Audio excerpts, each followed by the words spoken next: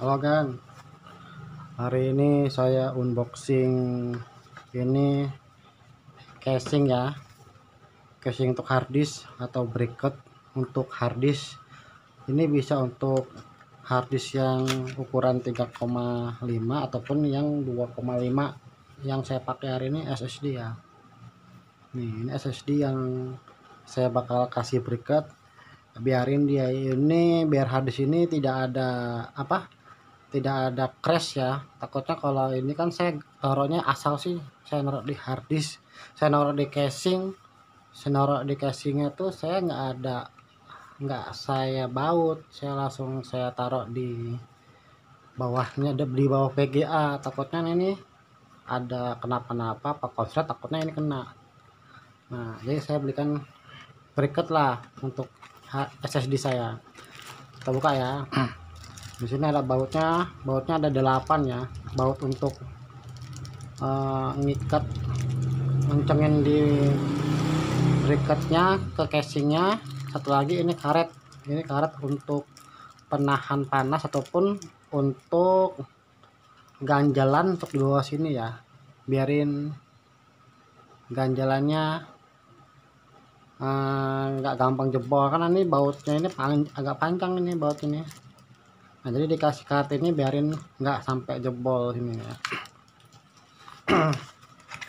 Di unboxingnya ini di dalamnya. Ini dari merek Oricon ya. Eh Ori Orico ya. Ini kalau penyot bisa ganti balik baru ini. Tapi karena ini masih bagus nggak ada yang masih balance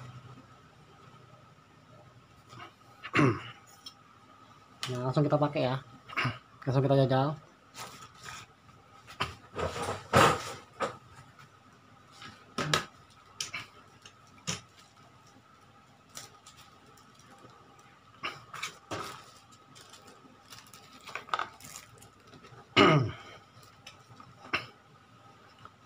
Ini kan ya.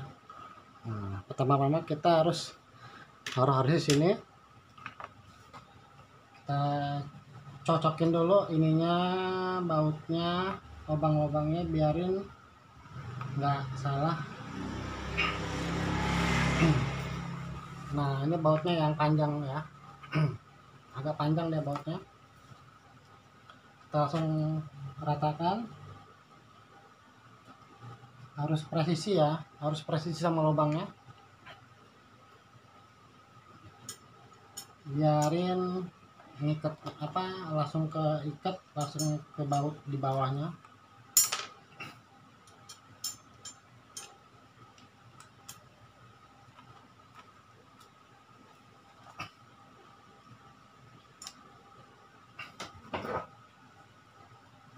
Jangan lupa ditarik di atas dulu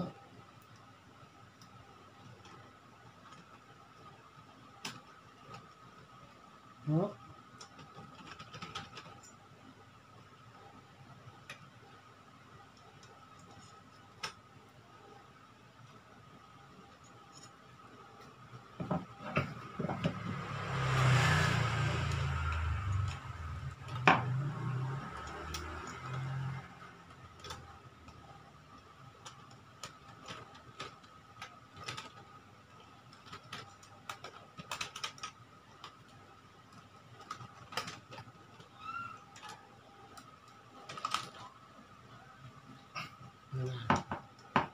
ini sudah kencang ya.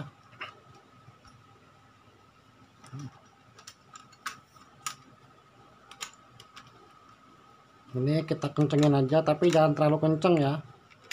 Takutnya nanti dol dalamnya. Jadi kita ngikatnya seadanya aja. Karena kita kalau kita pakai karet ini, ini ada karetnya. Ini menahan getaran kan, jadi nggak bakalan cepet dia longgar. Hmm.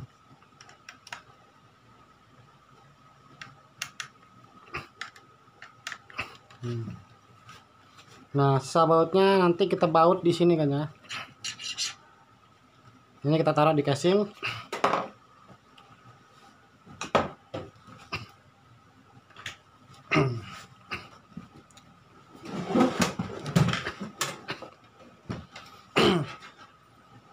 ini komputer saya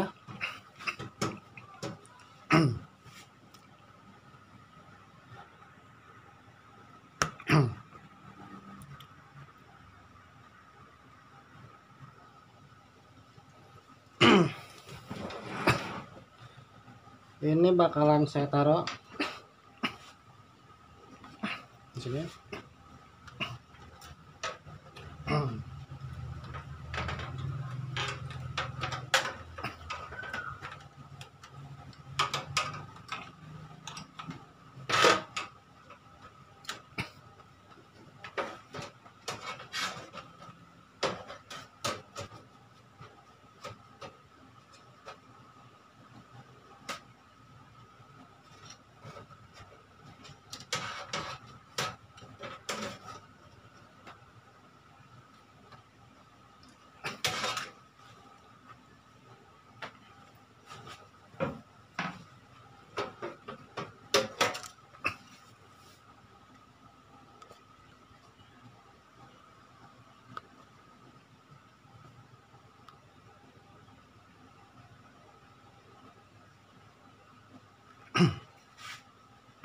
Maganda.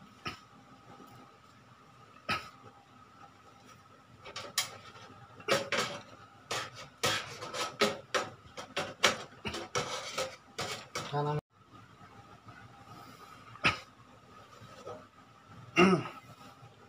Sudah terpasang kan ya?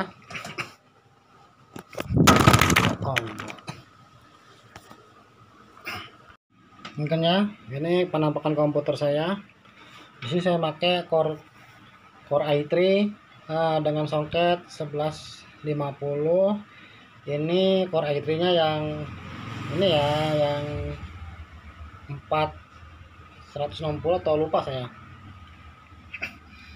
Uh, PGA nya saya pakai Air Radeon full color uh, 270 1 GB DDR5 nah ini penampakan harddisknya kan ya? Nah jadi dia agak rapi penampakannya dengan baut saya taruh sini. Oke kan sekian kan